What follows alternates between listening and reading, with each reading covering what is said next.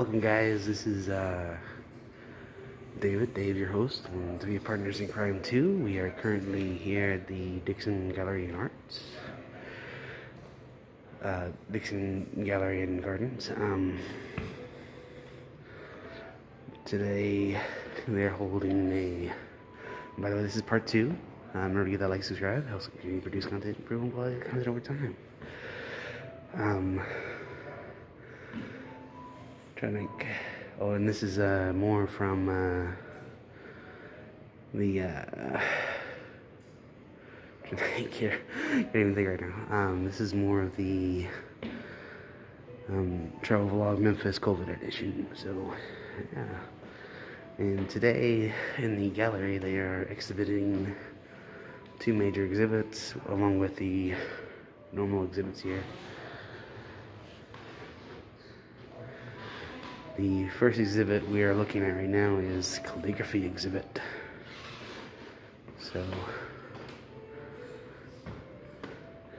feel free to uh, pause at any time if you feel necessary to read something or whatnot.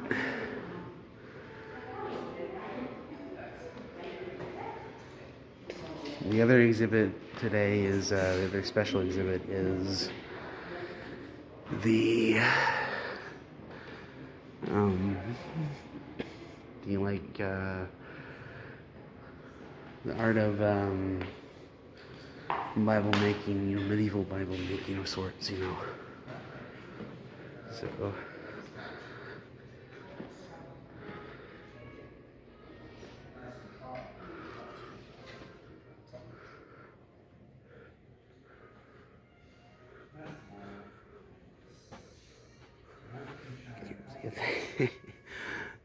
see a thing because my glasses keep fogging.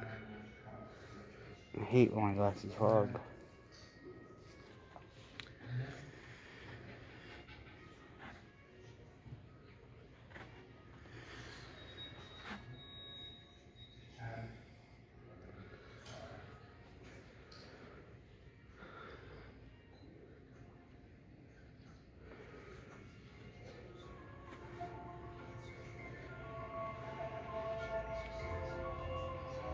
Thousands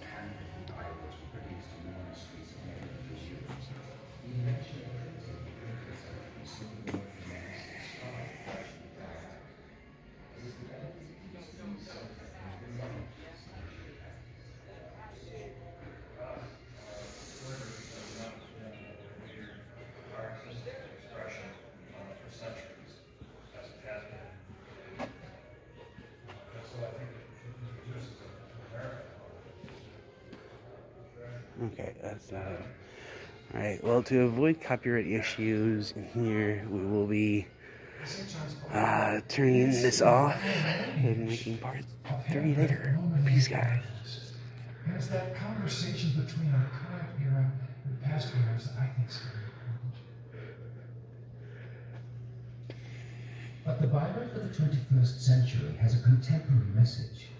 Its aim is not to convert, but to be open and accessible to those of other faiths, and to show there is common ground between often divided peoples.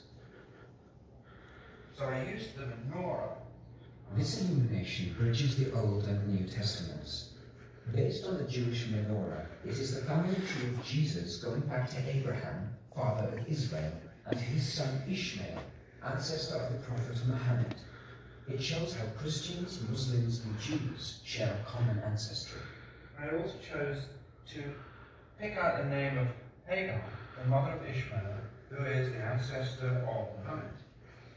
And I wrote her name in Arabic too, because so many people um, honor her as being an important part in their religious life, a different religion.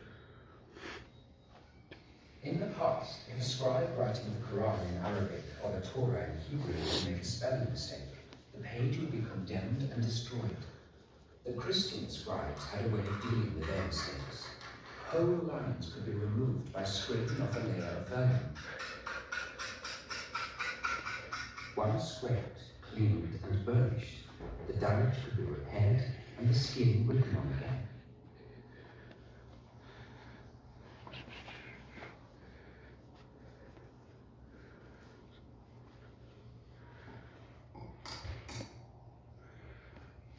The illuminator has a surprise ingredient which brings life and brilliance to the colours on the page.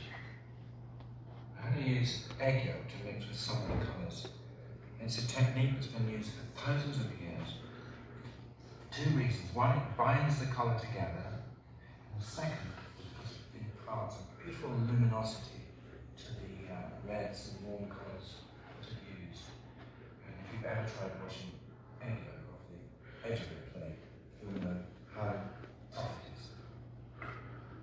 Now I've got to mix water with the egg so that I can get it to a consistency where it will flow with the egg. Little needed to completely change the texture of this colour. Add a few drops, two, three, four, five, six, seven, eight, ten. And then mix it. You'll see the yellow start to turn. It's a good, nice, fresh egg.